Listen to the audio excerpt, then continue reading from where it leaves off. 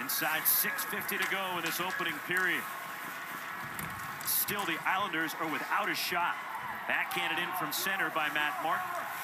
Orlov steers it along.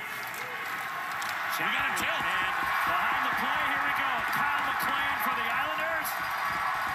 And Stefan Noesen. Noesen trying to exchange some rights.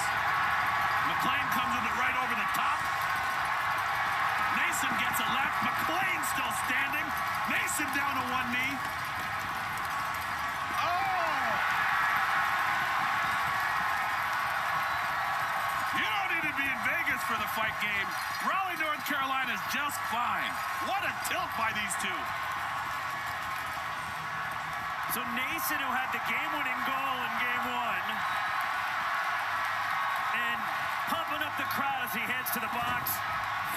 And Kyle MacLean, the rookie, Yep. who scored in his playoff debut, the son of Islanders assistant, great score in his own right, and Cup winner John MacLean. I respect both these guys for this tilt. And although MacLean lost his balance early, he did a good job. New York Islander penalty number 32. Five minutes each for fighting.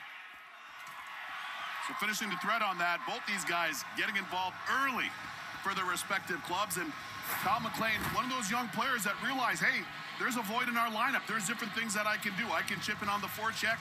I can chip in and be physical. He can score the odd goal as well, and he's earned a spot in this lineup. And for Nate.